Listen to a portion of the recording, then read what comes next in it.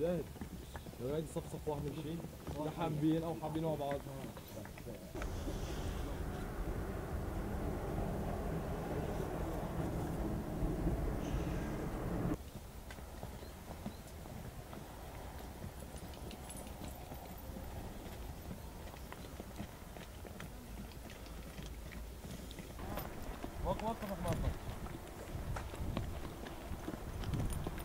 كويس وقف اللي معك شوي وصل تكون عارف اسمه العلمي هو بس الناس ما يبحثوا على التماثيل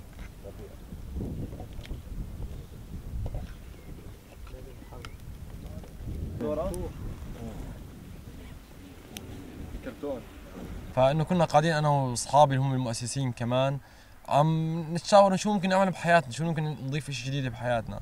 نعمل نمشي نعمل جولات مشي شفناها شيء مستهلك كمان على البسكليتات شفناها شيء مستهلك فحكينا إنه عن طريق المز عن الحمير. ففعلا ضحكنا شوي حكينا آه فعلا حمير وسيلة نقل تقليدية. والكل كان يستعملها أيام زمان. ففرصه إنه نخلي الناس اللي بحياتها ما ركبت حمير واجدادها ركبت إنه ترجع تركب من أول وجديد. فمن هون طلعت الفكرة وبلشنا فيها على ارض الواقع مباشرة. عندنا حاليا المسار اللي بنشتغل فيه حاليا يعني يمكن يتغير اللي هو مسار سكة, سكة الحجاز العثمانية اللي تأسست تقريبا من بداية القرن الماضي 1908 ل 1914 اللي كانت توصل المدينة المنوره لدمشق لفلسطين. فهذه الطريقة اللي اعتمدناها كمبدئيا ونحكي للناس عن سكة الحجاز نحكي للناس عن محطة الوقوف المسعودية نحكي للناس عن الاحتلال اللي صار للمسعودية بالفترات السابقة. فدمجنا إنه من السياحة للمتعة لجولات الحمير. مقاطعة البضائع الإسرائيلية. بحيث إنه إحنا بننبه على الجروب أو على الناس اللي نجيهم على الجولة إنه ما حداش يتعامل مع أي بضائع إسرائيلية بالجولة وإحنا نفسنا مستحيل نتعامل مع البضائع الإسرائيلية. بالعكس بنحاول نجيب كل منتجات تكون منتجات وطنية.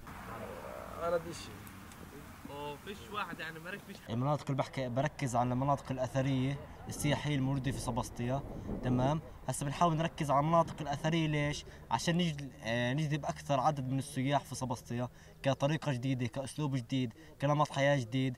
كشيء كفكرة رياديه جديدة دخلت على سبسطيا أو فكرة شبابية.